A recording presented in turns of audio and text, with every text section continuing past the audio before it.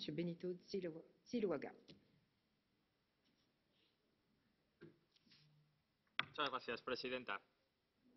No funciona. Hoy, una nueva votación en el Parlamento Europeo condenando la situación en Yemen. Mañana, un nuevo envío de armas a Arabia Saudí desde países europeos.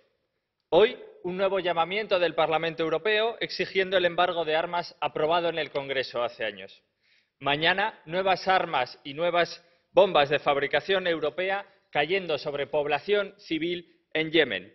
Así es, este es el impacto de las armas europeas. Este es el caso que hacen a las exigencias de este Parlamento aquellos que se llenan la boca llamándose europeístas o proeuropeos. Los Estados miembros siguen exportando armas para matar, armas para grupos radicales que la misma Arabia Saudí financia.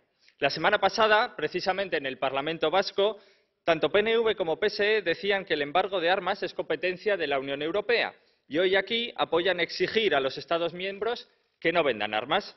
Vaya mareo, vaya forma de marear la perdiz para al final no hacer nada. Al menos el Partido Popular, en un ataque de sinceridad, ni siquiera ha pedido el embargo en su propia resolución. La